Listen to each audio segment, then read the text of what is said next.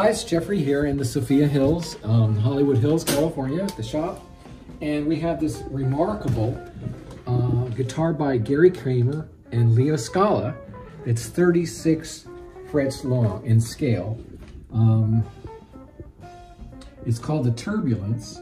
Uh, as far as we can tell, it was made in the around 2008, 2009 era. It's a maple neck, and it has regular size frets all the way up through two octaves, and then the remaining octave has thinner frets. Today you can see with the Floyd Rose style tremolo on here. Uh, we're gonna take this off. We offer a titanium size, um, OFR size block, and this can have our stop block or the Uno in it. And in this case, we're gonna put a titanium block with a Uno in this pocket because it fits. And then we also found out that this ledge is a little funny compared to where the UNO is, so put a little reinforcement in. It would have probably worked either way, but we had a couple minutes to rebuild the Floyd, putting the um, titanium block on, so we decided to do that. We'll be back in a few minutes with the stop install. So um, what we ended up doing is taking this licensed tremolo, and we added a uh, slightly longer titanium block to it.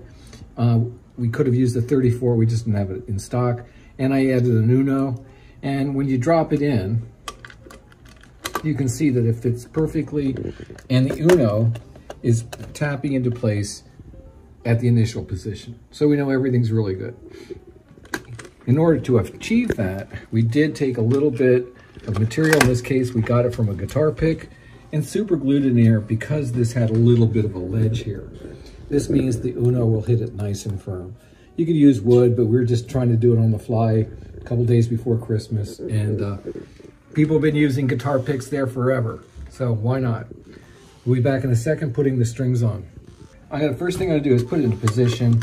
Uh, it tends to stay exactly where I want because of Uno. I'll flip it and put one spring in to hold in position while we start putting the strings in. Here you can see how it fits. And it's at the zero point or the initial position we want to set up.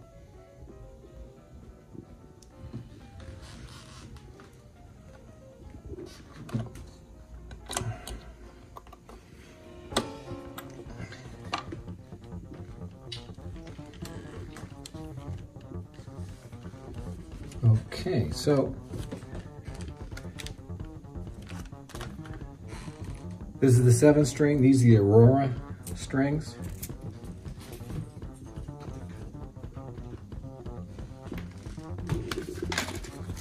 Standard procedure, cut the ball end off.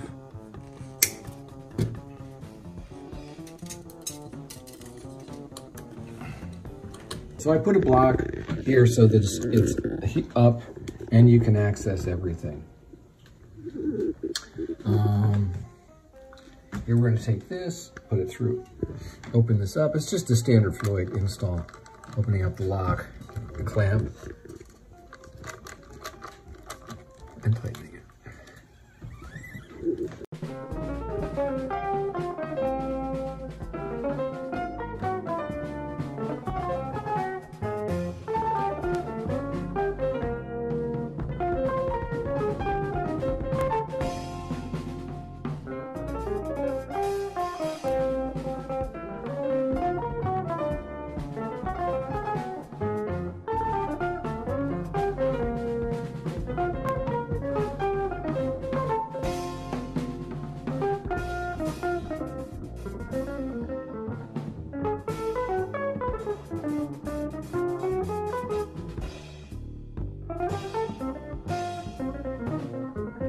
Hi, so we're in the final stages here and uh, we have this all set up.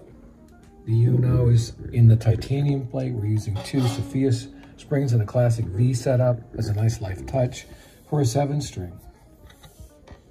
And being as it is, the claw position relative to establishing this touching but not touching type of thing. Um, well, the guitar is intonated in a pitch. Once that's achieved, the pulls are balanced. Coming back from dive, coming back from the pulls, exactly the same. So it's coming back and the pins are enforcing that position. Really nice guitar. Um, it was a lot of fun working on it. And uh, I can't imagine how much fun it would be just to play for a while. Thanks for tuning in. It's a pretty cool guitar. And um, it's another uh, example of how we can adapt our technology to uh, work with a lot of different instruments.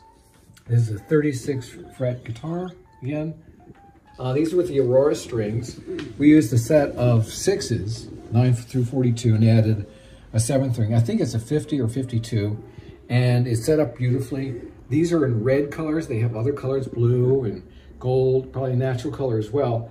And they have a coat on them, and it lasts, makes them last a long time. We have players here who have been using other brands that have been around for a long time, and we gave a, a good uh, workout today, and three of us who listened to them really think they sound quite good, honestly. Thanks again for tuning in. Sophia Hills in Hollywood, California.